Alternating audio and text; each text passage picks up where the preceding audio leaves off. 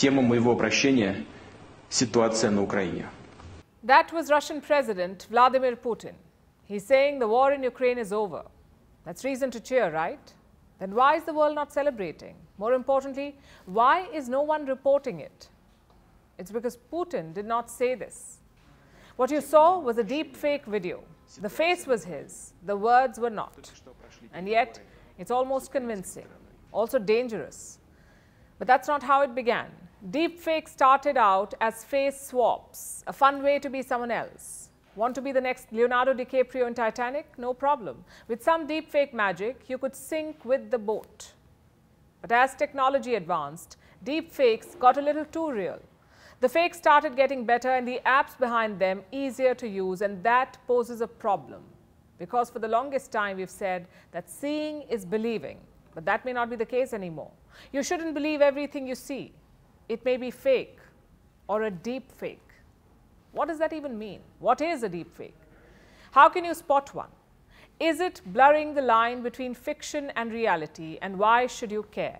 Hello and welcome. I'm Palki Sharma, and on this show, we'll try to read between the lines. This time, even between the pictures, the stated and the unstated, the obvious and the hidden, to bring you the full story. We're entering an era in which our enemies can make it look like anyone is saying anything at any point in time.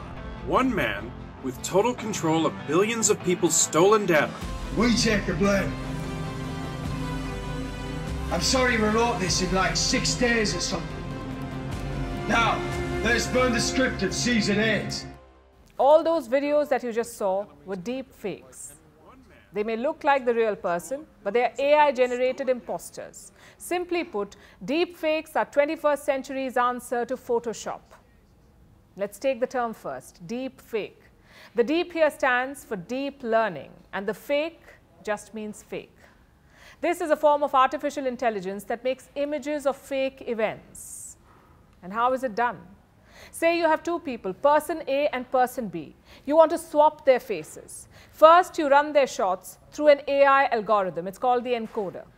You run thousands of shots through this encoder. It will start looking at the similarities between these two faces, and then the swap will begin. The AI compares the face frame by frame. It focuses on similarities and turns them into common shared features. That's another algorithm. And what does it do? It reconstructs the face of person A with the expressions and voice of person B. This is the ultimate step, the perfect swap. I know it sounds complex because it is complex. Making a deep fake is not an easy process. For a video to look very real, you have to match it frame by frame. Now, a standard video has more than 20 frames, so you can imagine how complex this is, more than a thousand frames to match every minute. But now there are apps that make it easier for you. They don't give the same finesse and accuracy, but they're pretty good, and they're getting better. When deepfakes first began, they promised a digital utopia. You could be anyone you wanted to be. All it took was a pinch of technology and a dash of audacity. You could recreate old photos. Soon people started using them to create videos of dead relatives. It was unsettling. It triggered some questions, but it was still seen as largely harmless. Pretty soon, things took a turn. There was a spate of fake content. Deepfakes sent credibility on a one-way trip to the Bermuda Triangle. They became less about making Tom Cruise dance like a monkey and more about violating someone's dignity. I'll tell you why I say this. More than 90% of deepfake videos are pornographic. In 2019, 15,000 deepfake videos were found online. Out of these, 96% were adult content. 99% were faces of female celebrities mapped on porn stars. It's like a nightmare you can't escape. Faces and bodies are being digitally stolen. They're being stripped of their agency and cast in explicit videos. And it doesn't end there. Journalism, the cornerstone of democracy, is now under siege. Deepfakes blur the distinction between truth and deception. It's hard to verify videos. More often than not, people don't even bother, they just forward. I'm sure you've seen examples. Last year, a video of Ukrainian President Volodymyr Zelensky made the rounds. It showed him asking soldiers to lay down their weapons, asking them to return to their families. The video was quickly flagged by Ukraine and the president himself, and so it was easy for Facebook to take it down. But it still created some hysteria. that the recommended way forward will be to invoke the Selective Service Act, as is my authority as President. The first to be called in a sequence determined by national lottery will be men and women whose 20th birthday falls during calendar year 2023. Then there was a video of the US president calling for a national draft. Joe Biden never said that, but it still caused some panic. Then we had Putin calling for peace. It was taken down by Meta. These were shoddy pieces of work. So they were easy to spot and erase, but the next ones may be more sophisticated. They may even feature your children. Watch this.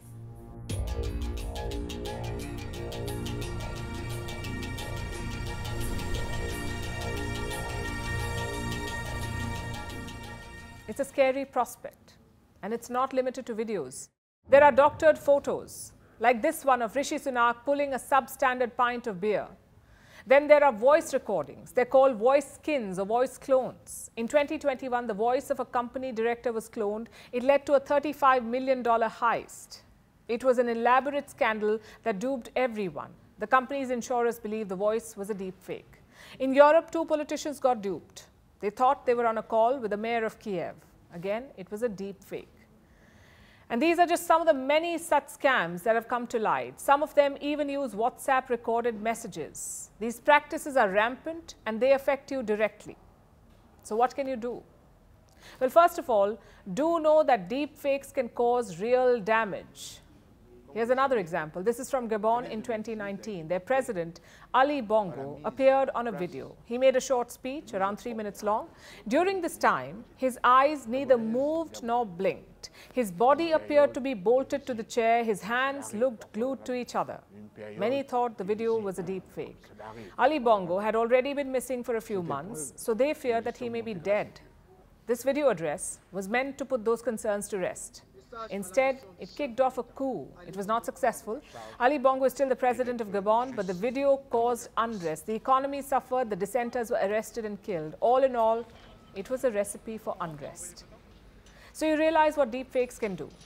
They can tank stock prices, influence voters, provoke religious tensions, even lead to coups. So what is the solution? Well, the same as the problem, ironically. AI created the problem, AI is also the solution. Artificial intelligence can help spot deep fakes. It's a fairly effective system, although it has a weakness. It works best for celebrities or political leaders. That's because their videos are already available on the internet, so AI has ready reference and it's easy to spot a fake. But for ordinary citizens, it could be a little more difficult. Which brings us to our last question. What should you do? How can you spot a deep fake? In 2018, American researchers gave a tip. They said deepfakes don't blink like we humans do. And the reason is obvious. Deepfakes are trained on pictures, static frames. And most of them show people with eyes open. So no blinking. Sounds like the silver bullet, right? But this is where things get complicated. Once this weakness was revealed, deepfake videos started fixing it. So a high quality deepfake will also blink but the poor quality ones can still be spotted. They have some clear giveaways. Either the lip syncing is bad, or the skin tone is patchy, or their faces have blurred edges or strange reflections. All of these indicate that it is a deep fake. The key is to look carefully. If something feels odd, don't hit forward. Take a step back and check if it's real or not. Because this is not a harmless game anymore. It's the making of a scary, chaotic future. You must be vigilant and aware because in the world of deepfakes, seeing is no longer believing.